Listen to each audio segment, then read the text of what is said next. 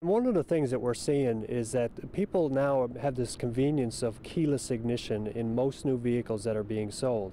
So what we find is that I'll show you here, this is a keyless ignition fob that comes with most new vehicles. It allows the person who owns the vehicle to put the fob in their pocket or a purse or a gym bag or anything such as that and then operate the vehicle without having to use any keys to start, stop the vehicle and also to lock and unlock the vehicle. So I'll show you with this. This is a uh, this is a new keyless ignition fob.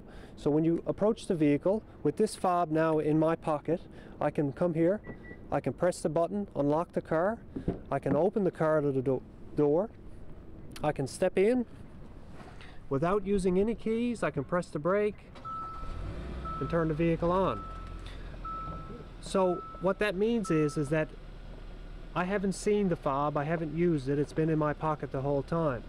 The problem exists is that the fob can be left inside the vehicle, either in a bag or a purse or the console, and would allow anybody to step inside the vehicle and start it at any time.